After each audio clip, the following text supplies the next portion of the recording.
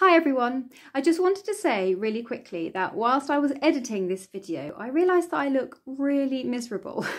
I am really sorry. Um, I wasn't very well through most of January and I think just by the end of the month I'd had both the children at home and we were in lockdown and homeschooling and I was just really tired. So I'm really sorry about that, but spring is on the horizon. I can feel it and um, I'm definitely feeling a lot more positive. So I promise my next video will be a lot more upbeat and smiley. I hope you enjoy my Make 9 and I'll hopefully see you soon.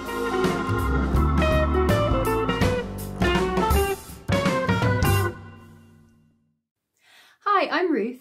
Welcome to my channel, Sew Dysfunctional. I hope you're all well. We are in the middle of lockdown three here in the UK. So life has been very busy. I am homeschooling and I've got a toddler as well. So I haven't really had any time to sew recently. But what I have been doing is making some plans. So this year I've decided to do a make nine. So I've pretty much decided on nine patterns. There's one that I'm just not quite sure about, but I thought I would show you what I'm hoping to make in 2021 and also some fabric choices that I might use for those projects. So the first thing I'm planning to make, and this will kind of hopefully go across the year, is underwear. Um, specifically pants. So I have got the Megan Nielsen Acacia pants or knickers pattern. I can't remember whether she calls them pants or knickers doesn't really matter. Um, you can get that, it's free. You can get it from her website if you sign up to the newsletter. Um, and I think she redid the file recently, so there are there's a much bigger size range um, available, which is great. I've also bought the Made by Jack's Mum superhero boxes, um, intending to make some for my husband. Now they do take a bit more fabric, um, as you might expect.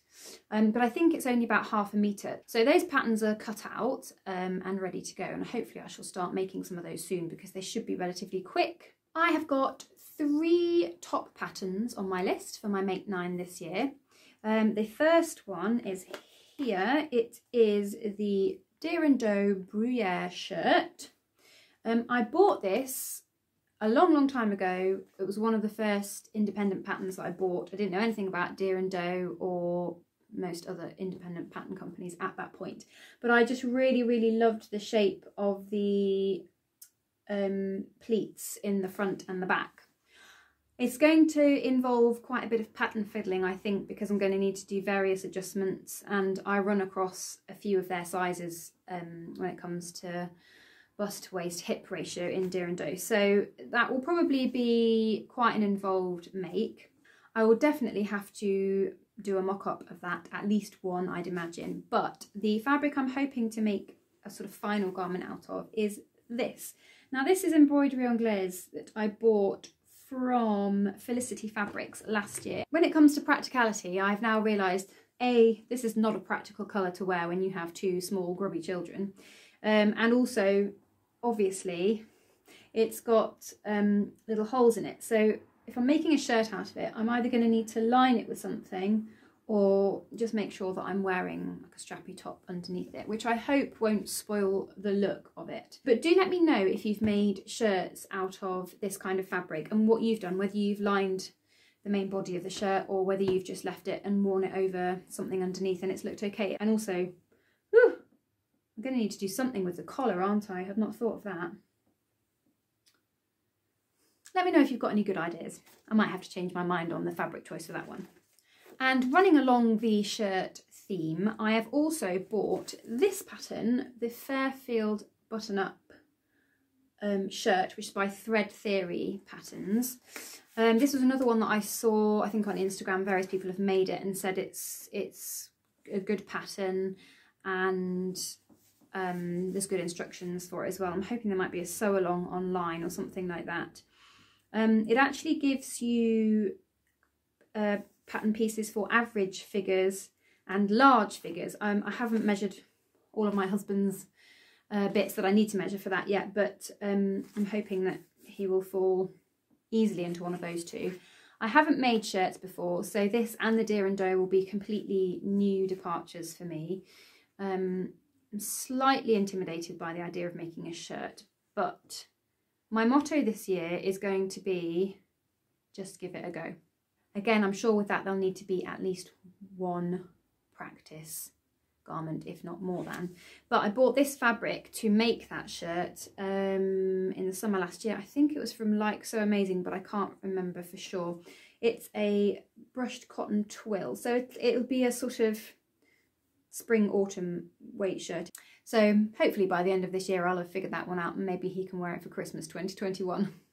The third top pattern I have got is the Somerset t-shirt by Maven Patterns. It's got a boat neck and I might end up changing the neckline slightly. I don't know, just at the moment it's so cold I, I can't envisage wanting to wear a boat neck. I know that will change when the weather warms up but it might be nice to have an option to do a slightly um, closer round neck anyway. I just love the look of the bishop sleeves that are gathered up into the cuff.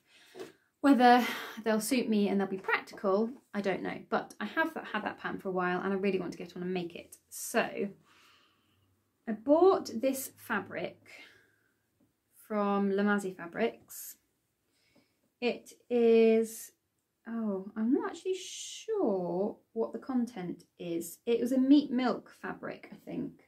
Um, and I ummed and ahed over this fabric for ages. And by the time I thought I might like to buy some, there was only a metre of it left.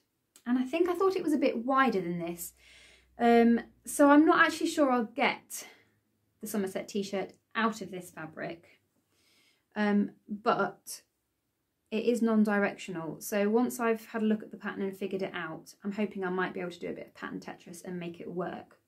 It's slightly unusual and it's not quite how it looked on screen when I bought it from the online shop. But I do quite like it. It's quite unusual. It's very drapey, so that should work quite nicely for the sleeves. But I have got other jersey fabric, so if I find out that this isn't enough to make that top, it doesn't really matter. I can make it out something else.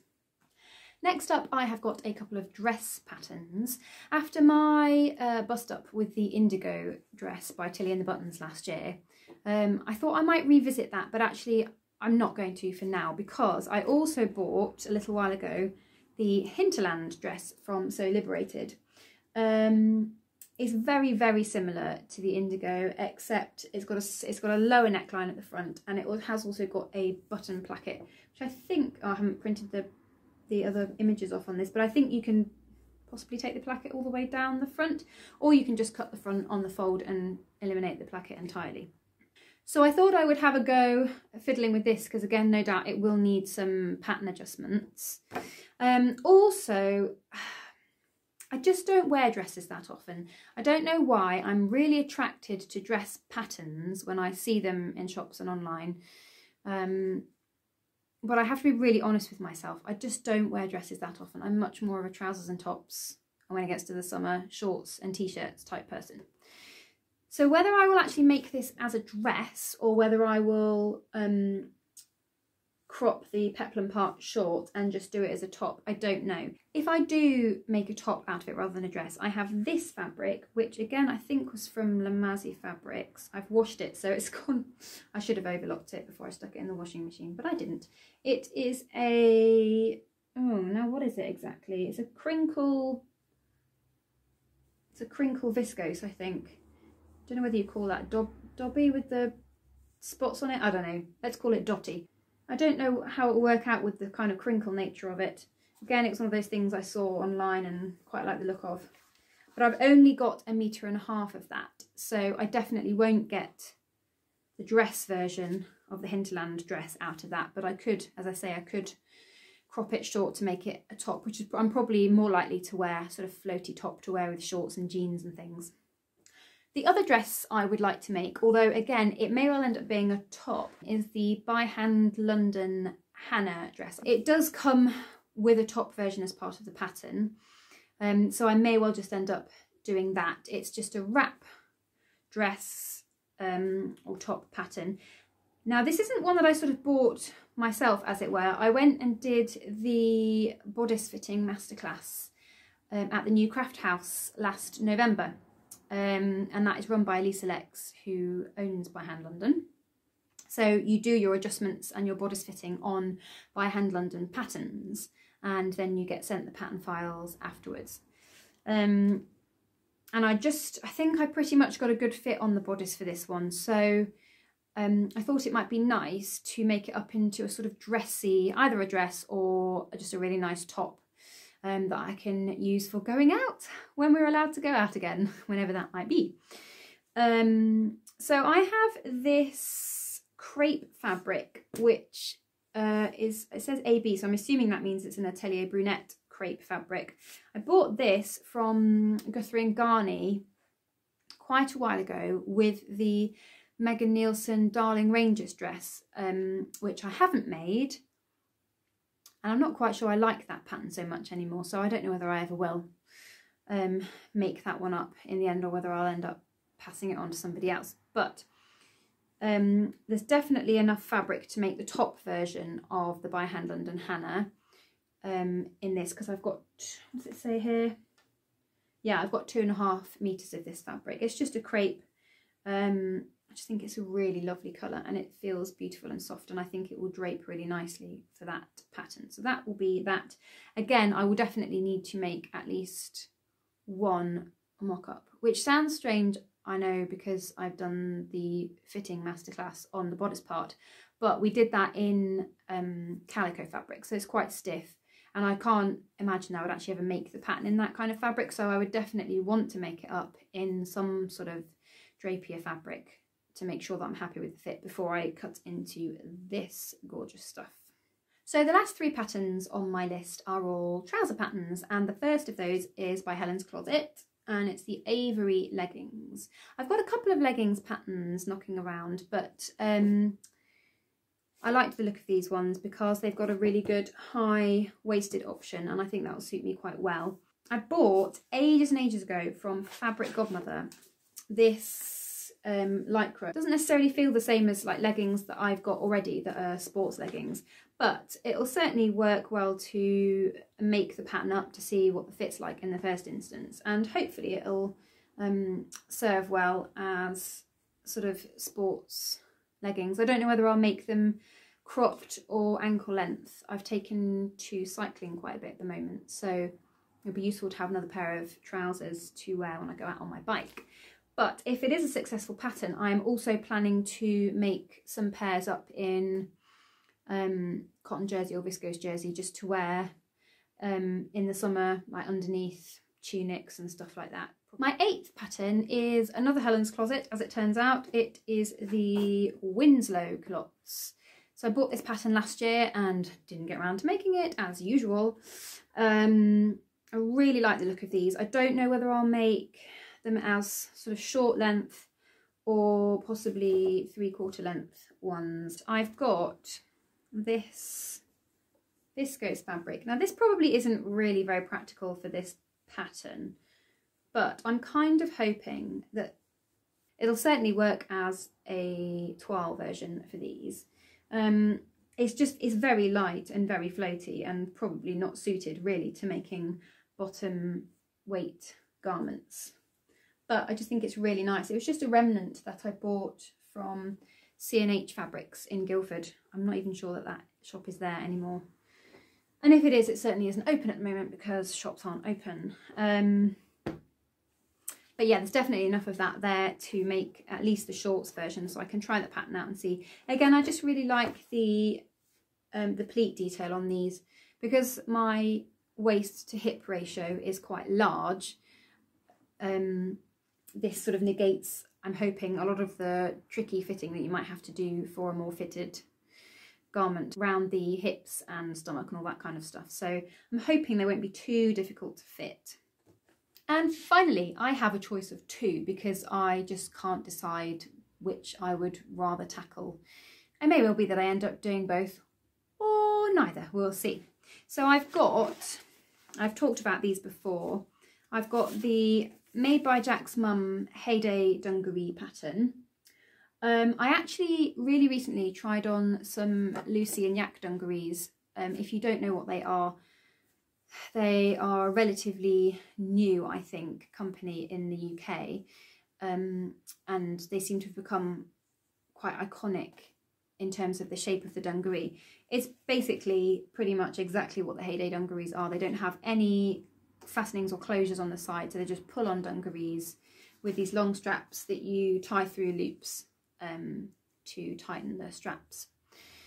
Um, and I tried, I, I ordered some and tried them on and I just found weirdly, because I'm quite short, I'm just under five foot four, I found the rise from the crotch to the top of the bib really short. So the kind of top of the bib came to there um, and it just wasn't very comfortable. So I'm hoping that I can play with this pattern and come up with something a bit better that fits me a bit better than that um, from that point of view and also possibly a little bit better fit on the hips. So there's that option and I think I've showed this fabric before. This was a cord that I bought from Felicity Fabrics last year. The other option is the Ginger Jeans by Closet Core Patterns.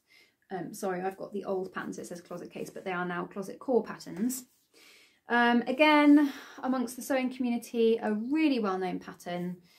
Um, if I was to make these, I definitely would do the high-waisted version and actually probably what I'd do is the slightly less skinny fit leg, mainly because uh, my calves are actually quite big. Quite a while ago, I bought this fabric from, I think it was from Fabric Godmother. Um, I've got one and a half metres and it's not actually very wide. Um, it is a stretch denim, although it's not really stretchy, so I'm not quite sure whether that will fit the requirements. So if I was to make that, I'd probably use this as a toile because I can't see myself using this fabric for anything else because I've probably not got enough. Um, so that would do for making a toile and I envisage that I would need to do quite a bit of fitting with that. If you've got good ideas for all the extra bits that you need for jeans, like top stitching, thread and all that kind of thing, um, if you've used them yourself and you can recommend a particular brand or anything like that, do let me know. Um, yeah, there's just going to be a lot of fitting to do with this and that is why I haven't really tackled it before now. So that's a bit of a cheat really, isn't it? Because sort of a make 10, but I, I can't imagine that I will get both of those things made up anyway. I'm hoping that having a make 9 will just give me a little bit of focus. Um, and if I don't make everything up, I'm not going to cry about it at the end of the year. Um, it may well be that I end up abandoning it because I get my teeth into something else and that's fine. If that's what doing this process achieves for me, I'm happy with that. So there we are, that's my Make 9 2021. Do let me know down in the comments um, if you've got a Make 9 planned and what, um, what you're planning to make, whether you've got any of the same patterns on your list. Um, if you've got any thoughts about that broderie anglaise fabric, let me know also jeans, um, haberdashery stuff. And also actually, if you have bought some jeans, um, some denim fabric that you've made the ginger jeans with that you'd really recommend from somewhere that still has it, please let me know because um, it would be good to get something in so that I know I've got the perfect fabric to make the jeans out of once I get to that stage. If you've enjoyed this video, please do give it a thumbs up and do subscribe if you haven't and you would like to see when my next video comes out. Thanks so much for watching and I hope to see you next time. Bye!